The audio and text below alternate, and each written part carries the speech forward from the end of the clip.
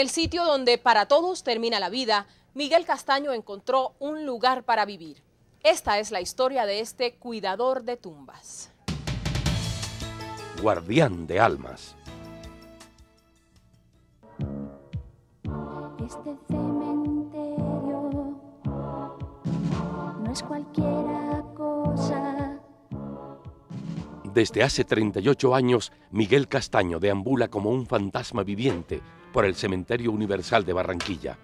En su piel se refleja el color y el olor de la muerte, su eterna compañera. Yo llegué aquí teniendo 12 años.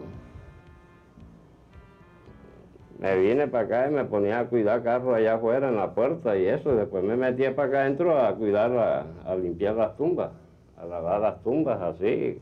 Cuando me hice con la clientela aquí de una vez. El negro, como es llamado por sus conocidos, merodea por la ruta de la agonía sin temor a la muerte, porque ésta se ha vuelto su más cercana confidente y amiga. Le digo, yo como en la vida nunca he sido miedoso, mejor dicho. Y aquí fue donde perdí más el miedo, cuando antes se hacían las estosis aquí.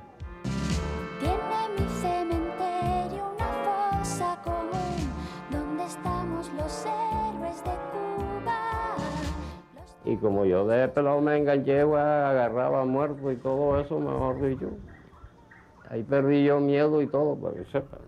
Claro que todo era punta abajo de ron blanco. A punta de ron blanco, para calentar el motor. El envejecimiento prematuro de Miguel expresa el cansancio de la vida, tal vez por la lucha y el trabajo infructuoso de embellecer la parca. Este oficio de guardián de almas le ha sembrado la desesperanza en el espíritu. Bueno, lo que pienso es terminar mi trabajo y esperar la hora para salir a almorzar y después llego, me pongo a hacer cualquier cosa por ahí. Este viejo legendario no tiene quien lo cuide, quien lo quiera, quien lo mime, ya que el único amor que tuvo, como él mismo dice, cogió brisa y partió con otro rumbo. Yo no me he casado, ni me casé, ni cuando tuve a la mujer, ni es nada. Me metí a vivir con ella y listo. Pero eso sí.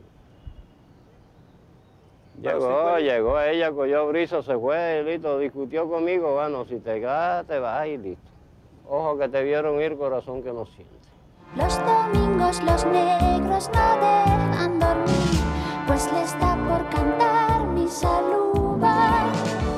Pero a pesar de los pesares, se siente afortunado ya que por lo menos desde hace muchos años tiene un lugar donde dormir, una habitación entre los seres del más allá, hogar que fue concedido por una bondadosa barranquillera. Ella se llama Doña Maruja de Tarú. Ella arregló conmigo porque ella, como yo era el que le limpiaba la tumba, estando niño, mejor dicho, ella venía y yo le limpiaba. Y no hay fantasmas, tal vez porque su presencia dentro del cementerio hace pensar en él como la figura del más allá que está errante como alma en pena entre las tumbas. Seré un fantasma para el que, el que crea que soy un fantasma. Yo, porque de ser un fantasma no soy, sino soy un ser humano como somos todos.